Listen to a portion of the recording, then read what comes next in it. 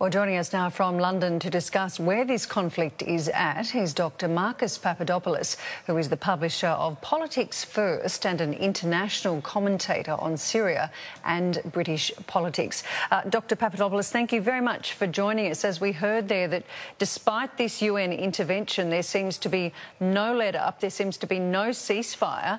How do we work our way out of this international mess? Well, first of all, please allow me to clarify the nature of the people whom the Syrian army is targeting in East Ghouta. The Syrian army is targeting Islamist terrorists Al Qaeda affiliates, the same people, ideologically speaking, who carried out the horrendous Bali massacre. And I sincerely hope you are telling the Australian public that. Now, since 2012, the people of East Ghouta have lived under the occupation of Al Qaeda affiliates, and they have been suffering tremendously every every single day for the last six years. The massacres that the terrorists in East Ghouta have been inflicting on the civilian population is so horrendous that I really shouldn't talk about it on live uh, television. And also, as well, I find it quite rich that Western mainstream media is now talking about the suffering of the people in East Ghouta. Well, where was Western mainstream media in the last six years when the inhabitants of that region have been suffering so terribly at the hands of terrorists who are being backed by the Americans and the British? And let us not forget as well, on a daily basis for the last six years, the terrorists in East Ghouta have been mortaring and have been firing rockets into Damascus. They have been aiming at schools, hospitals, nurseries. Indeed, last week they killed a large number of children. So I think it is quite rich and, frankly speaking, disgraceful that Western media is talking about a humanitarian um, uh, concern in relation to East Ghouta. But would it not be naive to say that Syria's treatment of its civilians is equally as bad? I mean, we've only seen in this attack yesterday the use of chemical weapons, chlorine gas you are relying on the white helmets, and no proper, legitimate court of law in the world would rely on the white helmets. Why? Because the white helmets are a propaganda weapon. They are a propaganda weapon of the terrorists, and they are the brainchild of the British government. And at the same time, even worse than being a propaganda tool, the white helmets are actually Islamist terrorist fighters themselves. We have independent witnesses we have independent footage of white helmet individuals standing over the bodies of dead Syrian soldiers, of them firing AK 47s, of them firing RPGs. You must not rely on the white helmets. The white helmets are a propaganda tool and they are terrorists themselves. You have recently tweeted that, uh, and I think you touched on that a little earlier, that the terrorists occupying East Ghouta are the same people, ideologically speaking, who carried out the London, Manchester, Madrid, Paris, and Bali bombings. Uh, they are murderers who are being backed by the US and the UK for geostrategic reasons. Can you expand on that for us? Absolutely.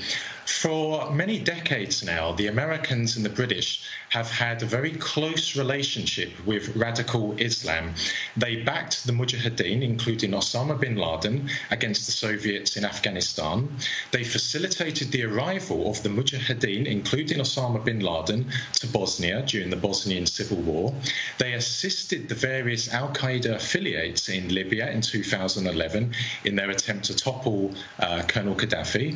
And they are supporting uh, Islamist terrorist groups in Syria. And the Islamist terrorist groups in Syria are not just ISIS, not just Al Qaeda, but also the Free Syrian Army.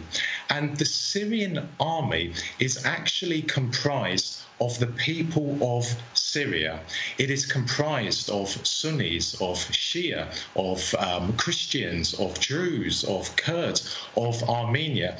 The Syrian army does not target its own people. The Syrian army is targeting terrorists, the very people who want to massacre Australians in Sydney and Canberra.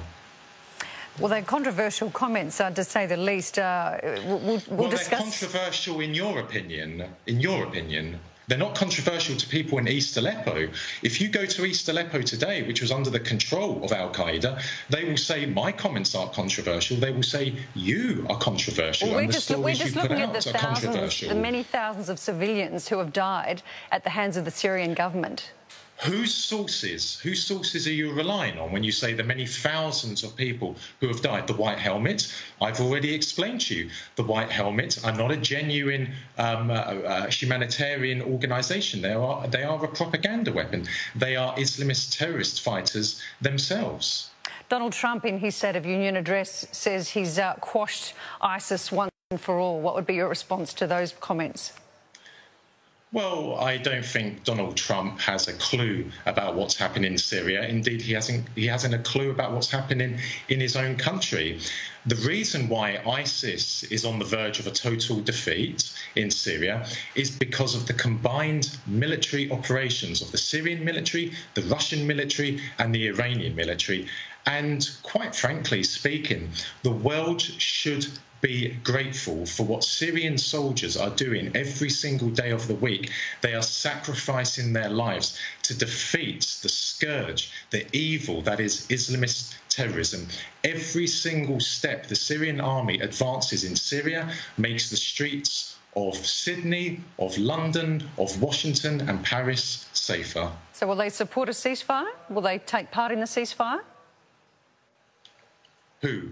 Would support a ceasefire. The Syrian army, will they take part in the ceasefire? Will they abide by the UN commands? The Syrian government has been participating in talks to bring about ceasefires all over Syria. And the Syrian government cares for one thing its people.